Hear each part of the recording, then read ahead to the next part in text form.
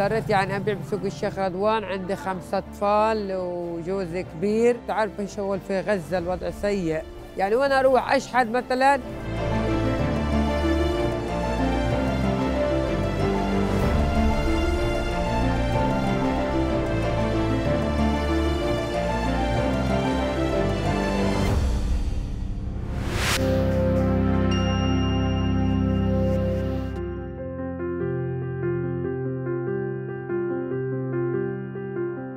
أنا علا فارس كرية. اضطريت يعني أبيع بسوق الشيخ رضوان. عندي خمسة أطفال وجوزي كبير.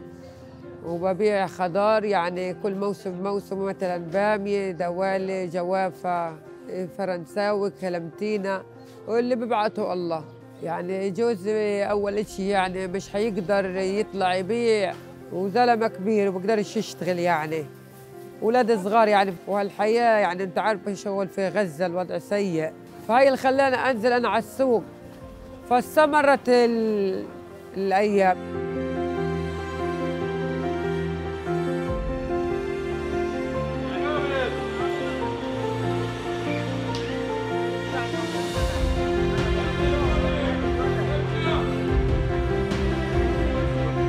شهر رمضان الفضيل إن شاء الله كل عام وأنتم بخير يا ربي. الخضار ماشي يعني الجرجير الفجل البصل البقدونس روكا.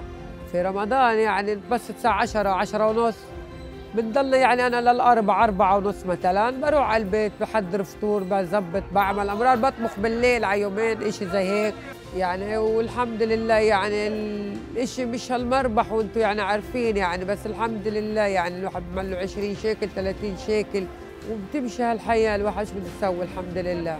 بالبداية يعني كانت صعبة كل مرحلة صعبة في البداية يعني مش ممكن تبص بشارع أو تقف على باب محل أو باب دار إنهم يرضوا لك. يعني نفسهم الناس اللي قاعدة حوالي يعني سيء كان. فاللي قلت له اللي بيقطع رزقة أولادي يعني أنا وين أروح؟ وهي بيتي هنا. يعني أنا علاقتي مع الناس الحمد لله يعني محبوبة. بيقولوا طيبة مش غي مش عيب يا أختي تستر حالها. أهلا وسهلا يا عم أهلا وسهلا يا أختي تفضل يا أخوي. يعني الحمد لله الأمور كويسة. يعني بالنسبة للزباين والناس وبالعكس يعني الكل الحمد لله يعني اللي بيشوفني بيشتري مني. يعني بيقولوا حبوب ومرة محترمة يعني ورزقتها ورزقت أولادها. يعني الحمد لله الأمور ماشية.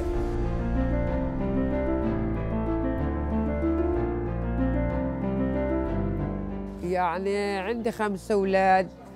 وبتعب عليهم زي ما أنتم شايفين يعني تعب تعب يعني الحمد لله في الشتاء كمان يعني ممكن أبسط أنا في الشارع الشمسية أحطها كمان وتعب وشقى وأمرار بعتي ما بعتيش ومش كل السواق زي بعض مش كل الأيام يعني هي عندك قبضة سلطة يعني إنه بيجي أسبوع للسوق تعبان بس يعني الحمد لله يعني كان أنا يعني روقة وإشي نظيف يعني الزباين تيجي علي.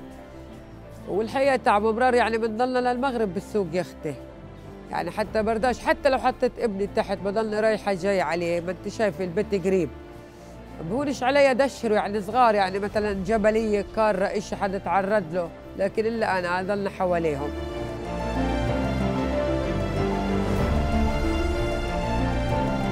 البيت أنا بالليل يعني مثلا بغسل غسيل إيه، أمرار بعجن بالليل.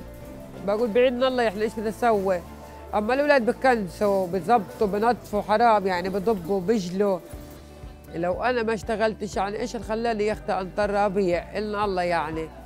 لكن الدنيا بدها صبر. يعني تغيرت بشخصيتي يعني صار سبحان الله أنا أتعامل زي رجولي هي في كل بني آدم في ست ولا بزلمه مش عيب الرجولة. حتى في بيتي يعني بالعكس أنا في بيتي مدلع أولادي يعني حتى خواتي يا أختي أنت طلقوا لهم الحبل مش عارف إيش. خلص يعني بقول لها أولادي يعني لازم أنت يا أختي يكونوا حواليك أمرار مثلا بقعدوا في الدار بيفتحوا التلفزيون شيء يا أختي صغار مثلا خليهم يدرسوا. لكن أنا بقول عشان خاطر أولادي اليوم بكبروا إن شاء الله بتعب سنة سنتين ثلاثة بعد هالعمر وإن شاء الله بتصيروا زلام واركن عليهم. يعني أنا كان نفسي عندي محل أكبر البسطة عندي محل حتى مش أنا أقف أقف مع أولادي ساعة ساعتين وأروح على البيت.